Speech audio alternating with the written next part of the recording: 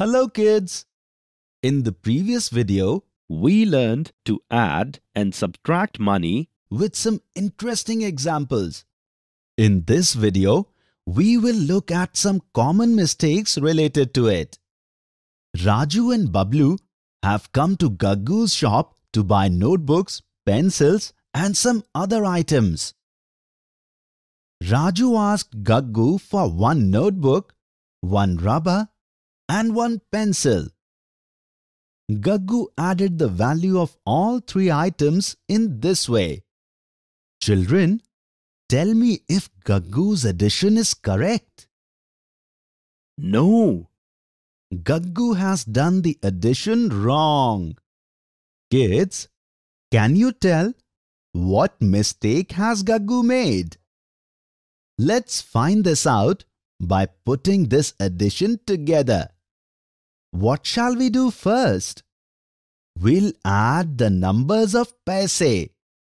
How much money do we get by adding 50 and 50 paise?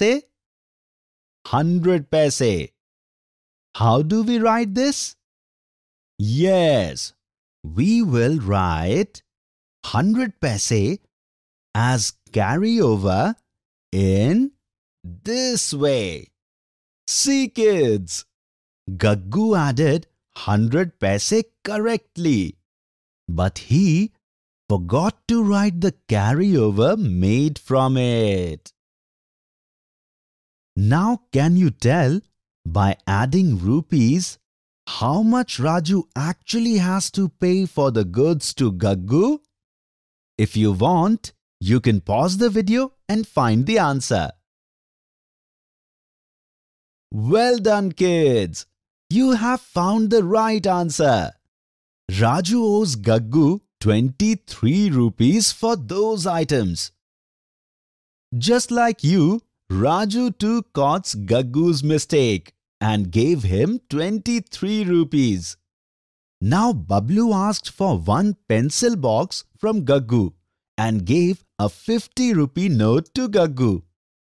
In this way, Gaggu deducted 22 rupees 50 paise of the pencil box from rupees 50 and returned 28 rupees 50 paise. Children, has Gaggu returned the right amount to Bablu? Let's see. First, we will subtract the numbers written in paise. Oh no! Can we deduct 50 paise out of 0 paise? No. So, what shall we do now? Alright. Now, we will use the borrowing process. We will borrow 1 rupee out of 50 rupees. And in this way, we will write it as 100 paise. And since we have borrowed 1 rupee, what do we have to do? Yes, we have to cut 50 rupees and write 49 rupees. Now, out of 100 paise, how much money is left after deducting 50 paise?